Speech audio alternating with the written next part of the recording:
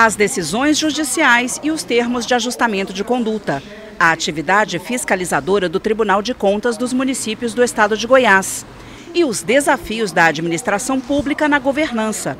Estes foram os temas do Simpósio de Direito Administrativo, Orçamento, Fiscalização e Governança, promovido pela Escola Superior da Magistratura e Escola Judicial de Goiás.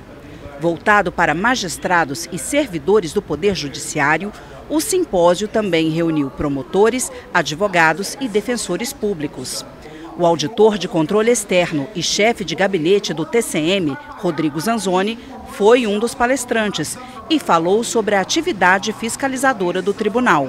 A aproximação dos órgãos permite a troca de informações e o conhecimento das metodologias de trabalho que estes órgãos de controle, em especial os tribunais de contas, têm e têm apresentado aos órgãos do Poder Judiciário.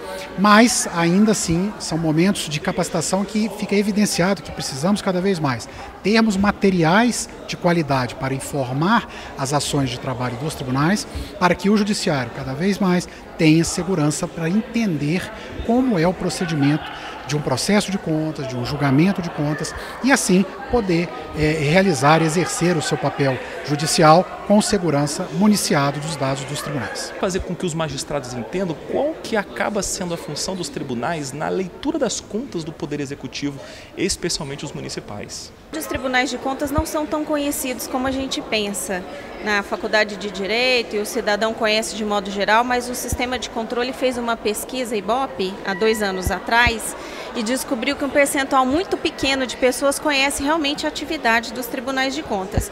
Isso um público-alvo geral e um público-alvo específico também da administração pública.